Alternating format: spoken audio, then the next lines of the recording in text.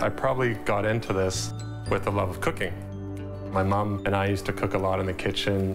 What you quickly realize is chemistry is not too different than cooking. And then eventually learned all about chemistry and other sciences uh, growing up and in school. My name is Rob Niven, CEO and founder of CarbonCure Technologies.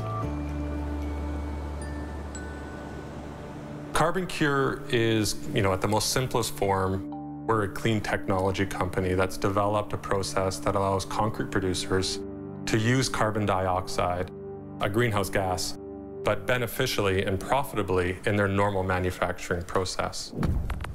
CO2 is added into the concrete while it's mixing important part here is that calcium is released into solution. The two react together and then fall out as a solid. And that's how we get this high early strength. So concrete producers then achieve higher strength in their concrete, which is a higher performance concrete, which provides some cost savings too.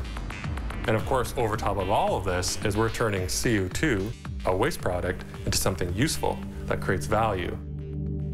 So the reaction we're forming inside a concrete is the same reaction that's occurring to make coral. It's a form of biomimicry, in fact, of what we're doing. So we're turning CO2 from the atmosphere and turning that into calcium carbonate. So it's the same reaction that coral used to grow, except that we're doing it, of course, artificially. By using CO2, we make the concrete stronger. By having higher strength, it allows them to make concrete cheaper. It also makes the concrete greener. Science is science and business is business. So if you make a good science case and a good business case, you can make a meaningful impact for people all around the world. And concrete being the most abundant man-made material on Earth, if you can change that and use concrete as a solution to climate change, then you really have an idea that can scale and help a lot of people. I'm totally comfortable with risk. That's an absolute requirement to be an innovator. It's all just a calculation. I do a lot of rock climbing. I do a lot of whitewater paddling. It's the same thing. You do mental calculus in your mind. Is the risk worth the reward? You don't let emotion get into that. You just make a decision and you do it. So if you go over that waterfall, there's no going back. You, you really got to follow through and look forward, not behind you.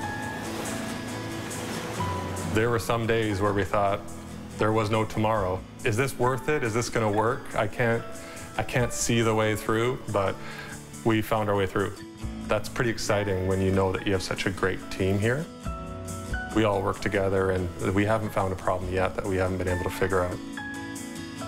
I think winning the Manning Award was is extra special for, for me, and the recognition that comes along with the Manning Award on a Canadian level is fantastic.